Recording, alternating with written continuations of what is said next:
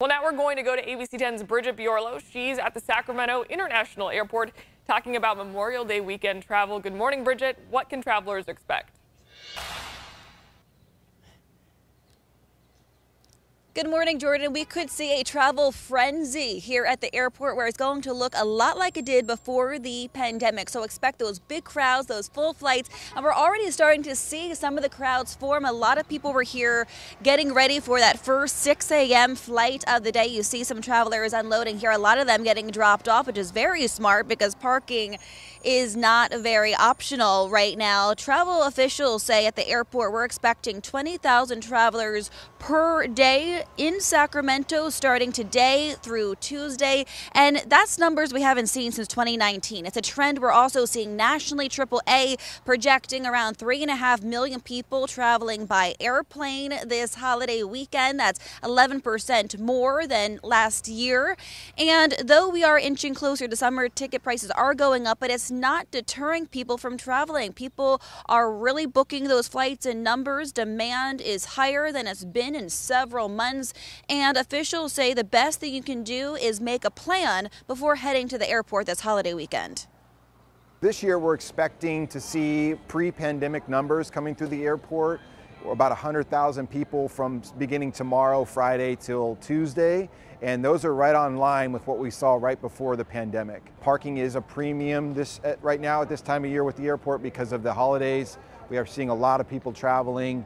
Um, our parking garage actually has been filling up every day but Monday for about the past month.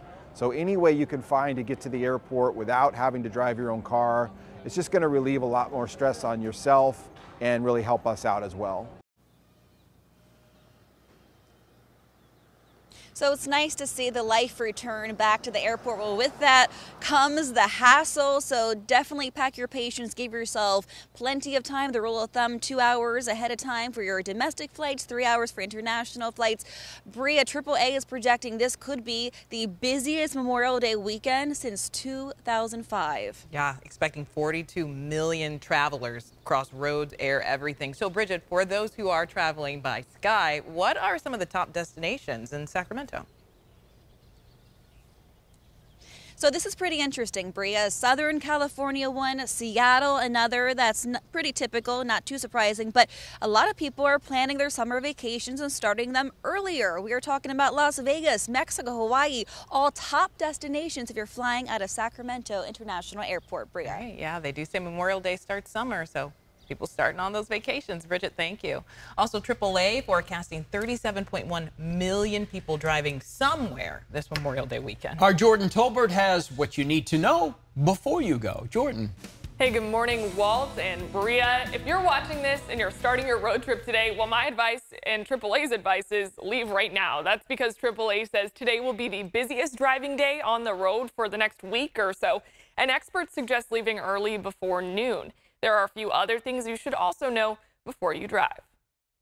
This Memorial Day weekend, AAA is forecasting a 6% increase in the number of people driving this year compared to last.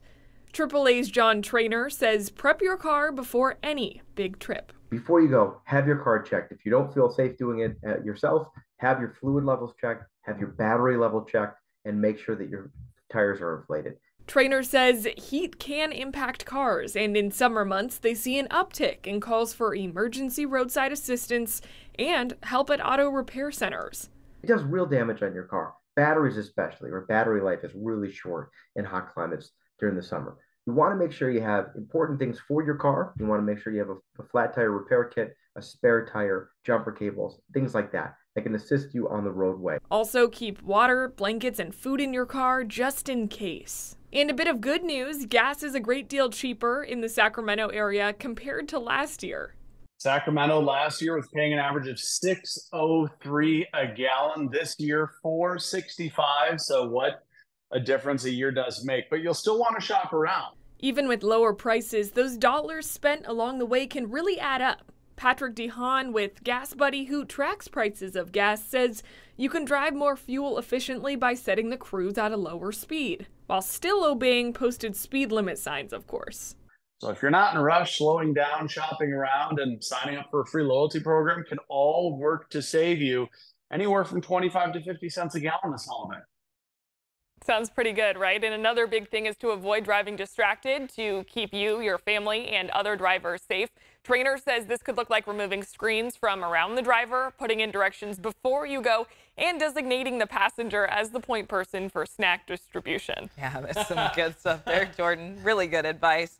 And Jordan also mentioned a little earlier that we'd be seeing cheaper gas prices overall this year. So let's go ahead and take a closer look in our area. First, Here's what you'd be paying at the pump on average across California $4.82. Now, compare that to last year, where, if you believe it or not, we were paying almost a dollar and a half more, $6 for a gallon of gas. So, if we take an even closer look, people in the greater Sacramento region, you're paying more than $4 right now. People in Stockton and Modesto also seeing about the same prices, with Modesto at the cheapest, $4.57.